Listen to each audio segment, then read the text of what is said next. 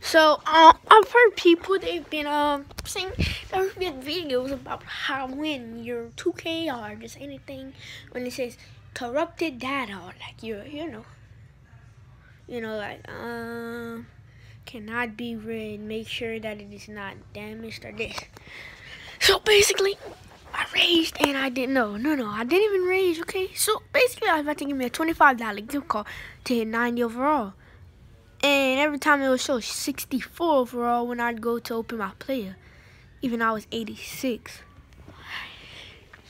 So I deleted it. Then I kept on doing this for a whole day. I even cried. I got emotional, you know. But today, it changed, okay? I just call out to God, you know?